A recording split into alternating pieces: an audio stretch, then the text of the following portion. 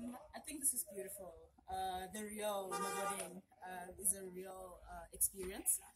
And to experience South Africa just from another lens, you know, and uh, th- these are not stories that you hear of our country. This is not how our country is depicted. And uh, Siphiwe, what you do is amazing.